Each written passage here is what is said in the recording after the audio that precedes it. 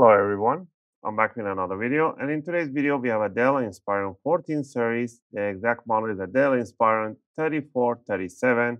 That information can be found on the bottom sticker. And in this video I'm going to take you on a step-by-step -step how you can open up your laptop, how you can service, clean and maintain, do a maintenance on your laptop. This is not a benchmark or comparison between thermal paste, anything like that. I always get a, a eh, comments on that. This is just a regular maintenance for your laptop every year, year and a half, depending how often you use and the condition for the room. It does get clogged up with the dust, hair, and the thermal paste will dry out eventually. So this is good if to bring the temperatures down so the CPU can overboost itself and work better. All right. And by doing a repaste cleaning, you're not changing anything in the system. It's all pretty much plug and play and just do a service and turn it back on and you'll be left wherever you were before. All right. So first thing first, you want to power off. You want to flip it upside down. You want to remove the battery just by pulling these two latches away and the battery will come out. I lost the battery for this one. All right, I'm gonna go over the tools I'll be using. Every tool that I use it will be linked in the video description in case you want to purchase yours. Tool number one and the most important one is a good screwdriver set. Don't use those cheap screwdriver sets. You can damage the screw heads for your laptop.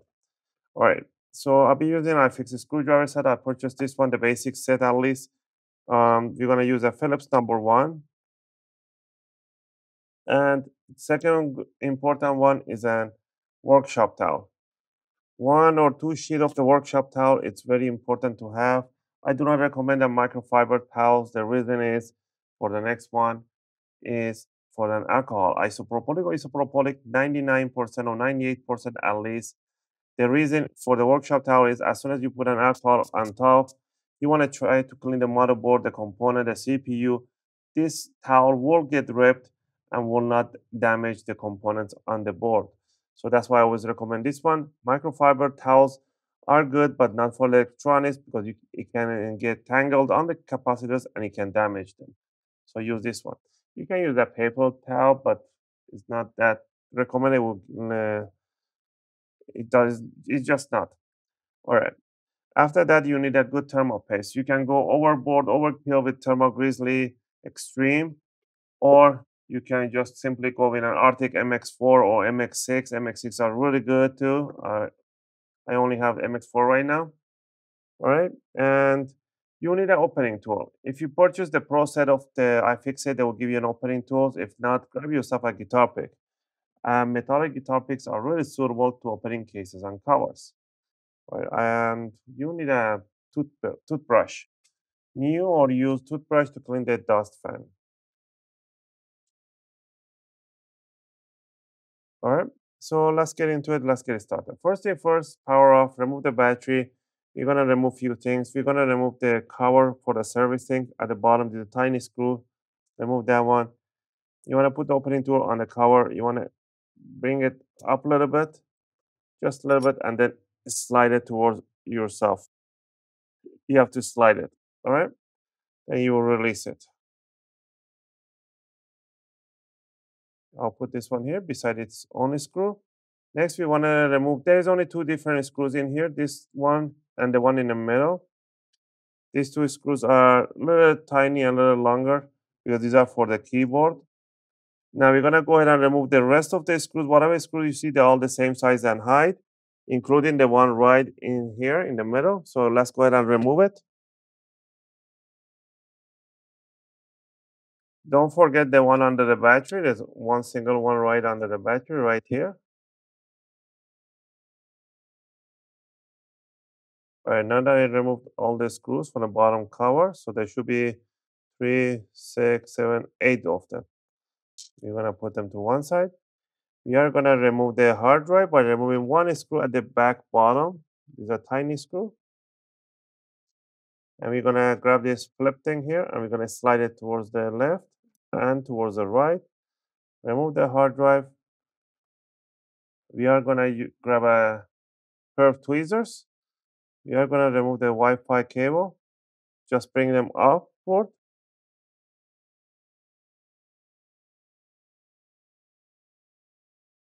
Just like that. Be gentle with them and we're going to untangle them like that. All right. We're gonna remove the DVD drive just by sliding it back, because we already removed the screw for it. We are gonna flip the laptop over and we are gonna remove the keyboard.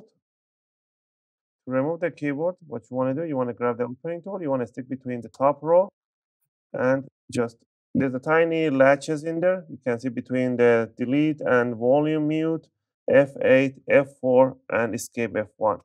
So you want to stick it there and you want to just twist it. Once you did the top row, grab it from the middle, bring it up in 45 degree angle, bring it towards the screen so you can release these latches under the palm rest. Once you're in here, put your fingernail at the bottom here and you want to lift up this latch and slide 45 degree angle the flex cable. All right. Now down here, we're gonna remove, lift up this latch for power on switch, and we are gonna slide out this flex cable. We're gonna do the same thing here. Lift up this one for the trackpad, and then close the latch so you don't damage it. All right. We're gonna remove four screws. One, two, three, four. These are the same screws as at the bottom cover. once we remove those, what you want to do, you want to just lift up the top cover just like that, put the opening tool between the palm rest and the bottom cover and just pretty much rotate it like this and do the front end. Just sticking about one or two millimeter of the guitar pick, not the whole thing. Go all the way to the back corner.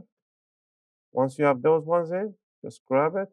You want to bring it up straight, and the back one is going to make a big click. Those are the clips at the back, which where you can't reach. But once you lift up a little bit, they will snap out. They don't break. Now here's your palm rest. Now the fun part, the motherboard. First, we're gonna remove the latch for the expansion USB. And we're gonna bring it up. You can put a little bit of alcohol. Where's my alcohol? Right there. And this flex cable. So it can get on the bottom. So it blends the adhesive. So you can lift it up. So there's a tiny screen there. You want to unplug the speaker cables.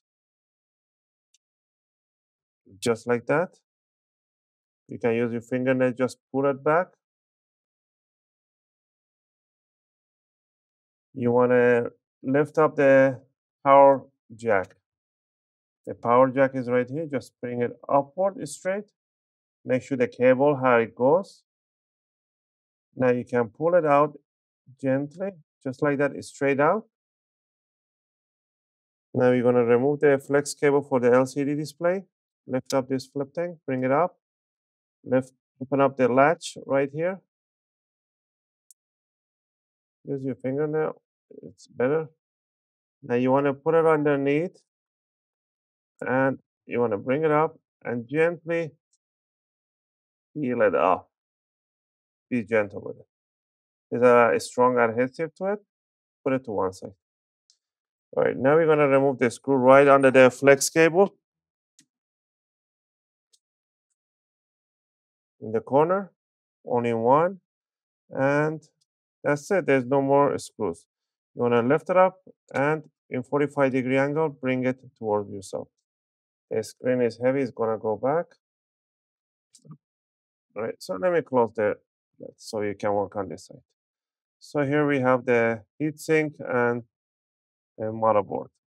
So what you want to do first is to disconnect the fan. Just put the curved tweezers on the side and slide them backward just like that so you don't yank on the cables. So always make sure that it's like that. You want to slide it out like that. Remove three screws on the X clamp on the heatsink. The screws have a little C-lock that will prevent the screw coming out entirely. So if you want, you just have to loosen it up and grab it from the corners. The thermal paste, it is very dried out. And there is the whole dry thermal paste. This is very dry thermal paste. right? If you want to clean up the fan system inside there, you can remove one, two, three screws, and the fan will come apart and you can clean uh, in between them.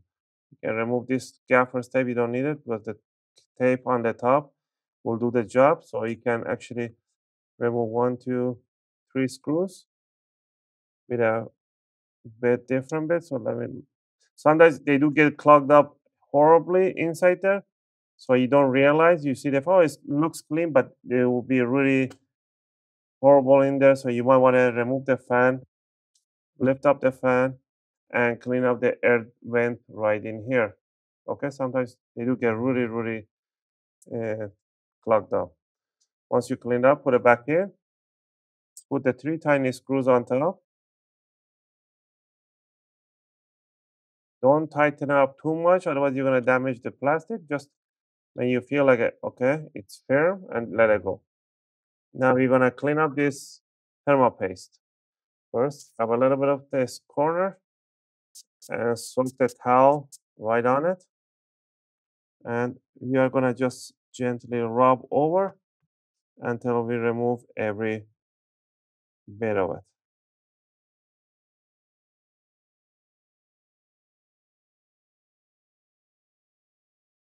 The thermal paste on the board, don't worry about it, just lift it up. Use a dry part to clean it up. And there we have nice shiny CPU die. Put your fingers at the back of the heatsink, you so you have a support. And then you put an alcohol and clean up the thermal paste. All right, once we clean up the thermal paste, we're gonna apply the new. There's a two crystal die. People say, why there's a two crystal die? This the main one is this one is a CPU die. The second one is called a PCH chip. The PCH chip uh, in the different brands, different models, they are they were located in a different place on the board. And now they brought it to the same die, so it's closer communication, and they use only one heat sink for both. So that's the reason for the two dies. So we're going to apply one tiny line on the main one, on the PCH chip, one tiny drop. And you want to bring the X clamp, heat sink, I mean, and put it right on top and put the screws. The screws, the, it doesn't matter which order you start with, is a triangle. So cross screw them, it essentially becomes the same. It will spread the thermal paste evenly. Put your hand at the back and tighten it up nicely. And don't forget to plug in the fan cable and push it all the way in. Once you're done with that, sure you clean the cover too.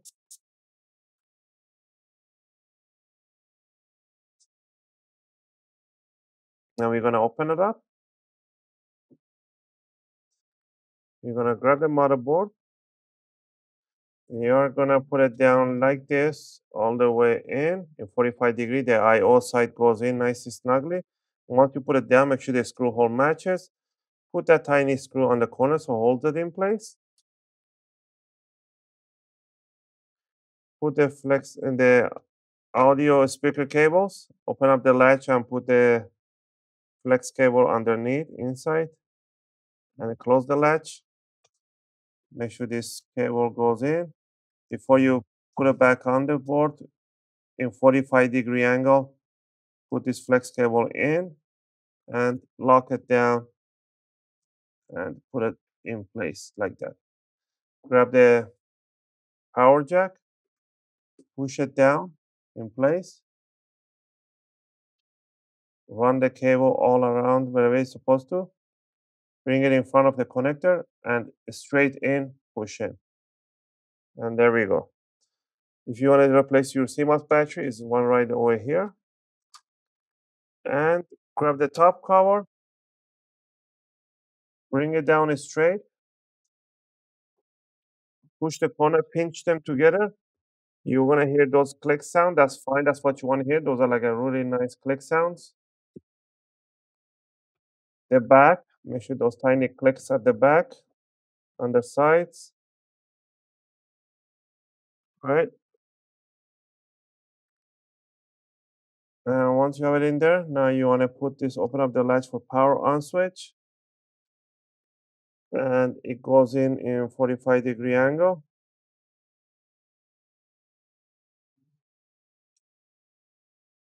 Hold it and lock it down. Open up the lock, slide it in, lock it down. Put the four screws right at the bottom. You have to switch to your Phillips one. Again, I hope you guys like this video and helping you guys out. If you want to support the channel, you can do that by clicking that like and subscribe. I greatly appreciate it. It helps and motivates me to make more videos, take requests, and answer your questions in the comment area. Appreciate it. All right, now that we got that one in place, we're gonna grab the keyboard, put it in like this position, open up the latch. This one goes in in 45 degree angle, all the way inside the connector.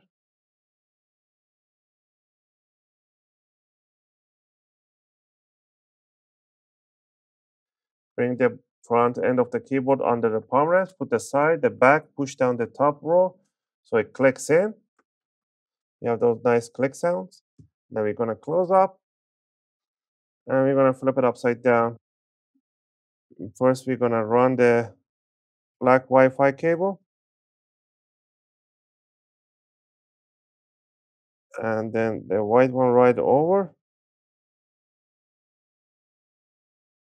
Okay, let's put the white cable first. And then put the black cable right after under the grooves.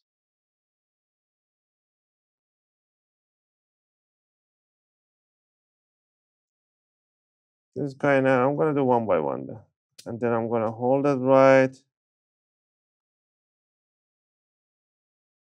at the top of the connector. I'm gonna push it down. They just snap on. Bring the black one here. Align it, push it down, it makes a tiny soft click.